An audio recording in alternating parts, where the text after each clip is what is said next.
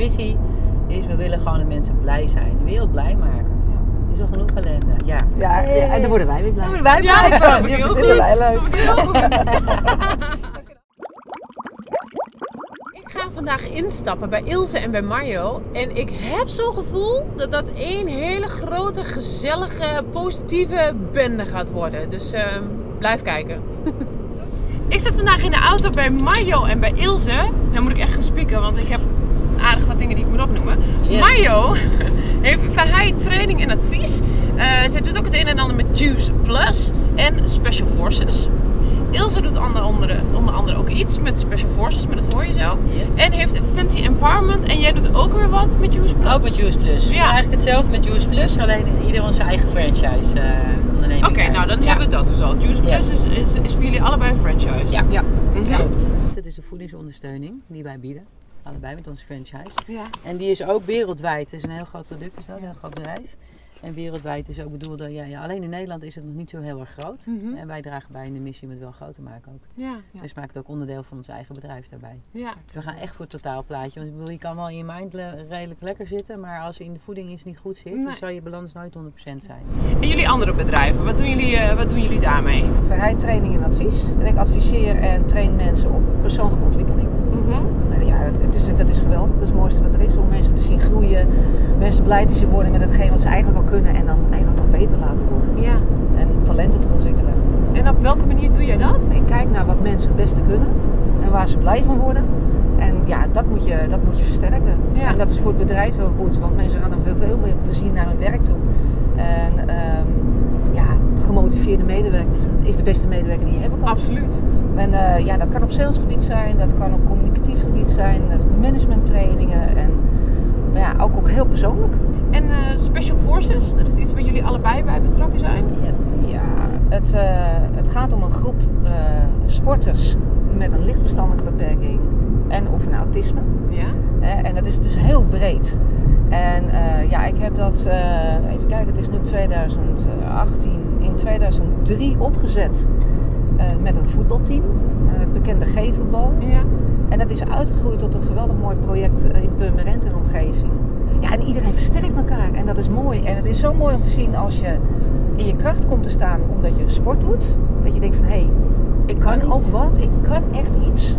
Stel een doel en ik haal ja, het ook. En dat Ja. dat doorwerkt naar de rest in je leven. En dat is ook echt onze missie voor mensen. Mensen laten groeien tot wie ze horen te zijn, waarvoor ze geboren zijn. Mhm. En je krijgt vanaf geboorte krijgen mensen heel vaak het labeltje: jij hebt een verstandelijke beperking, dit kan je niet, dat kan je niet, dat kan je niet. En wij kijken, wat kan je wel? Wat wil je? Wat kan je? En hoe ga je dat gewoon bewerkstelligen? Ja. Dus we begeleiden mensen daar ook in. Dat hebben we jarenlang samen als collega's gedaan. En nu inderdaad met Special Forces eh, wordt het voortgezet. En, eh, en Ilse, Ja, wat doe jij? ja nou, Precies. die empowerment. Hè? Ja. De naam zegt het al, empowerment is ehm, eh, ja, kracht, hè? gaat het om. Eh Vinti is dan toevallig de samenvoeging van mijn kinderen hun namen, Vince en Timo. Nou, dat wilde ik al vragen. Ja, dat wil je wel vragen. Dat had iemand gezegd, goh, waarom doe je dat niet? Toen dacht ik, nou ja, zo'n inkoppertje, een beetje voor de hand liggend. Maar toen ging ik de namen opzoeken. En dat blijkt dus, leiderschap nemen over je eigen leven. Toen dacht ik, nou, je. Ja, Ja. Dus dat heeft ook zo moeten zijn Ja. natuurlijk. Nou, vindt die empowerment. Dus empowerment eraan toegevoegd. En dan is het helemaal het plaatje compleet. Dat ik Mhm. mensen echt blij maken. En dat doe ik door middel van, eh, onder andere door eh, hypnotherapie. Ja. Goede dosis humor, no-nonsense aanpak. Gewoon, weet je, recht op je doel af. Eh, door middel van hypnotherapie kan je heel snel inzoomen. Dan kom je tot de kern van het probleem. Pak je aan bij de wortels. Meteen als onkruid eruit rukken en doorvliegen naar, eh, naar het nu. En zorgen dat gewoon mensen in de kracht komen te ja. staan. Maar Het is dus echt hypnose. Ja, dus dat is een van de technieken die ik eh, gebruik in mijn coaching. Ja, en mensen denken vaak, oh hypnose, ga ik dan als een hond rondlopen? Ja. Nou, dat is echt een stage hypnose, zeg Mm. maar. Dat is, maar mijn intentie is goed. Ik wil mensen verder helpen. Ik wil ze niet voor gek laten lopen.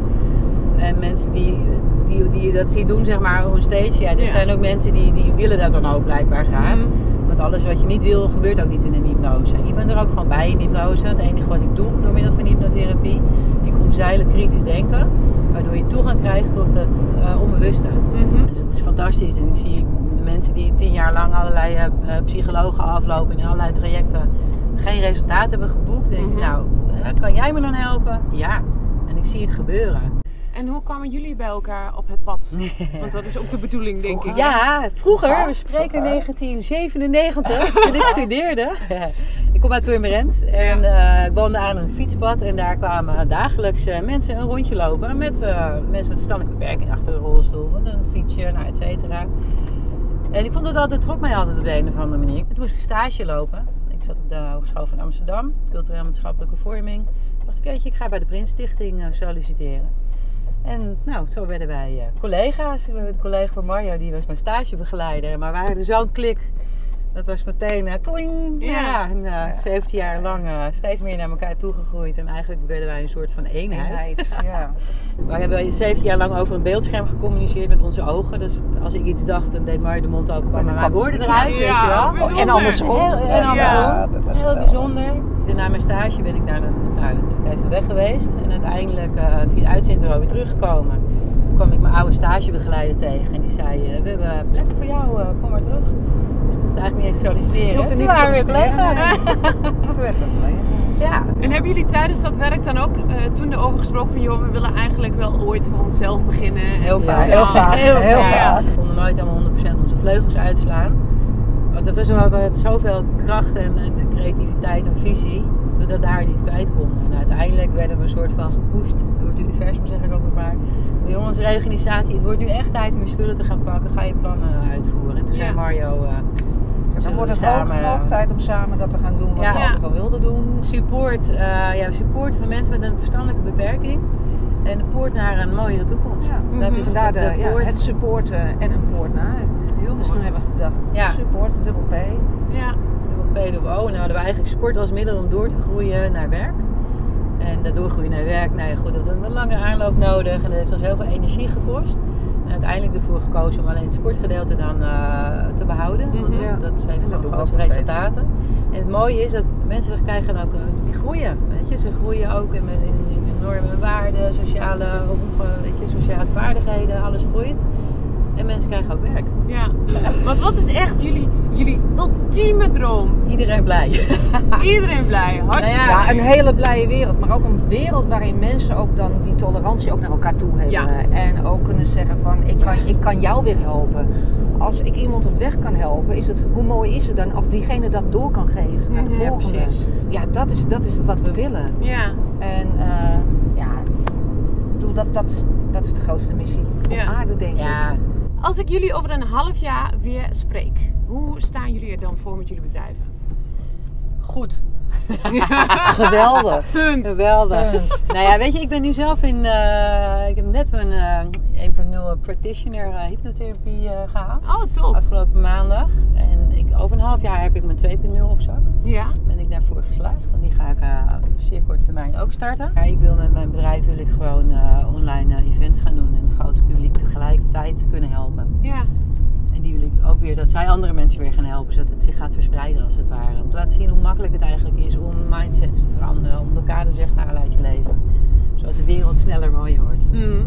Dus over een half jaar heb ik eh, online events. In ieder geval. En misschien ook wel live. Over een half jaar heb ik, eh, ben ik zoveel training aan het geven dat ik omkom van het werk. Ehm, ja, mijn doel is gewoon om inderdaad zoveel mogelijk trainingen weg te zetten bij, eh, bij bedrijven. En ehm, ja, heb ik, heb ik eh, ja, voldoende werkzaamheden om ook ehm, mensen te kunnen coachen. Ja. Ehm, even afgezien van het trainen, wat ik ontzettend leuk vind om te doen, ja, zou ik het heel fijn vinden om ook af en toe individueel juist mensen te coachen. Mhm. En eh, dan ga je veel dieper in op de materie. Ja. Ehm, iemand ont- helpen ontwikkelen op, eh, op een salesgebied of op een managementgebied is hartstikke leuk. Maar hoe mooi is het dan om die verdieping te zoeken? Ja. En eh, ja, daar zou ik nog heel graag veel meer in willen doen. Nou ja, ik wil jullie enorm bedanken. Ik vind jullie echt hele mooie mensen. Nou, dankjewel. het heel helemaal bam. Nou, jij ontzettend Bedankt. bedankt. Jij eh, bedankt voor deze kans. Ja, Ja, precies. sowieso Voor het leuk. leuke Alle interview. plezier. Yeah. Alle Ja. plezier. Super. Ik hoop wel. Ik, ik had gelijk. Wat een ontzettend mooie mensen zijn dit. Echt heerlijk. Ik ik bevoorrecht dat ik eh, daarbij in de auto mag stappen. Ja, ik heb ook wel eens zin om bij jou in de auto te stappen. Dus als je nou denkt, dit wil ik ook, mail me dan. Tot de volgende.